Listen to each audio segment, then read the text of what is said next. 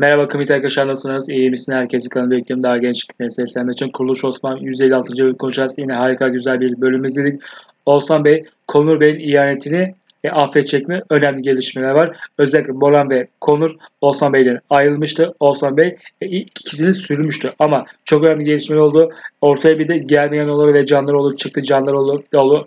İbrahim Bey ve Yakup Bey bir güç birliği yaptı. Özellikle Bursa ve İzni'ye bir hareket düzenleyecekler. Büyük bir orduyla oraya gelmeyi planlıyorlar. Ama burada Konur ve Boran kilit isim çünkü Konur ve Boran İbrahim Bey yani Candaroğlu'nun içine girdi ve bilgi toplayacaklar. Osman Bey haber verecekti. Belki de bu bir oyun arkadaşlar. Çünkü bilerek belki Konur ve Boran'ı bilerek sürdü ve Osman Bey'in bir planı vardı ve bu plan işliyor ve baktığımızda Konur ve Boran'ı affedecek zaten. Bu ilerideki ileriki bölümlerde göreceğiz. Ama e, Konur ve Boran'ın önceliği, önceliğine Candaroğlu'nun içine sızmak ve tüm bilgileri tüm olanları Osman Bey'e haber vermek tabii ki ve Alaaddin Bey zaten oradan onlar kurtaracak. Çünkü Candaroğlu e, oğulları Ahmet'i ölmüştü kafesin orada. Peki Alaaddin Bey suçluluğu kanıtlanacak mı? Yeni bölümde zaten kılıçlar çekildi arkadaşlar. Hem Candaroğlu hem de gelmiyorları artık hedefi Osman Bey. Çünkü Osman Bey bir devlet kurmasını istemeyecekti. Niye Yakup Bey ne de İbrahim Bey Osman Bey bir devlet kurmasını istemez arkadaşlar.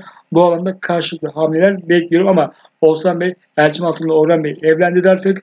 Artık iki oba birleşti. Devletin kurulması için artık yavaş yavaş hazırlıklar başlayacak ama dediğim gibi İbrahim Bey ile Yakup Bey güçlerin birleşirse Osman Bey ile karşı karşıya gelirse Osman Bey ben geri adım atacağını düşünmüyorum. Osman Bey özellikle uçların ve e, beylerin desteğini her zaman alacaktır. Tabii ki bu Yakup Bey ve İbrahim Bey'in işine gelmesi ve yeni bölümde karşılıklı hamlelerin olacağı bir bölüm izleyeceğiz. Sezon finali Haziran ayının içinde olacak arkadaşlar. Sezon finali sürprizlere gebe çok sürpriz sahneler olacağını düşünüyorum.